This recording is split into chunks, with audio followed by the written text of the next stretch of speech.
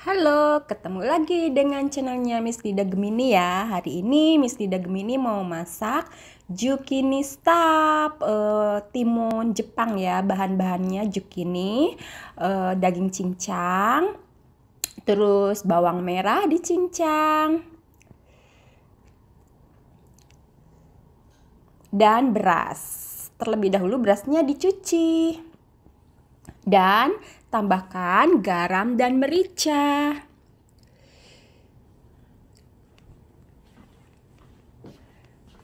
Setelah ini panaskan ya minyak sayur di dalam wajan.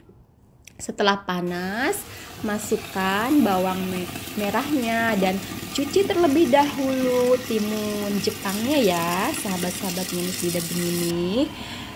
Dan ini bawang merahnya digoreng dulu sampai harum dan berubah warna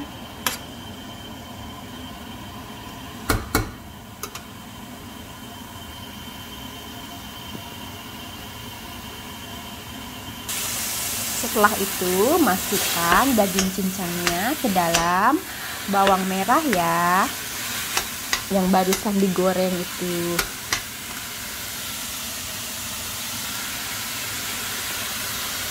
Kemudian tambahkan garam dan merica.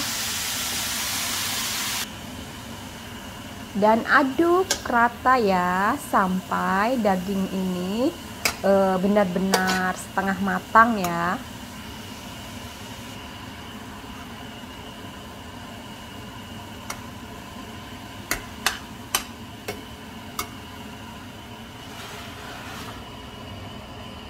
Setelah matang, e, coba dinginkan terlebih dahulu dan e, kita melubangi e, timun Jepangnya ya. Satu persatu. Dan ini contohnya Miss Lida Gemini sudah melubangi e, timun dari Jepangnya ya. Setelah semuanya dilubangi Miss Lida Gemini uh, mempersiapkan daging cincangnya terlebih dahulu dan ditambah beras yang sudah dicuci ya. Tambahkan garam dan merica.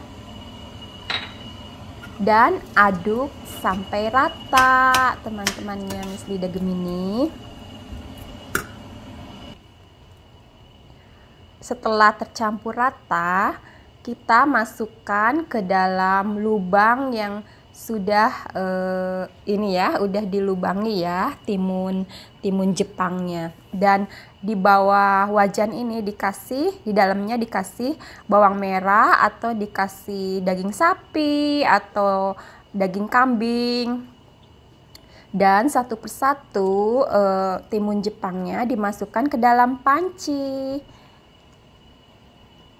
sampai semuanya ya masukkan ke dalam panci. Dan ada sisa nasi dan sayuran ini kita bisa masak digoreng atau di steam. Oh Miss Lida Gemini Gemini lupa ya eh, tak kasih ini apa tomato sosnya ya.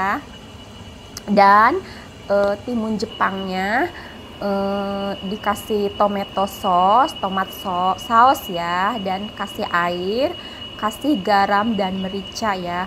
Biarkan timun Jepang ini e, masak sampai mendidih dan setelah mendidih kecilkan apinya. Masak sampai e, satu jam atau satu jam setengah ya sahabat-sahabatnya Bida Gemini terima kasih yang udah subscribe like komen dan share teman-temannya Miss Bida Gemini inilah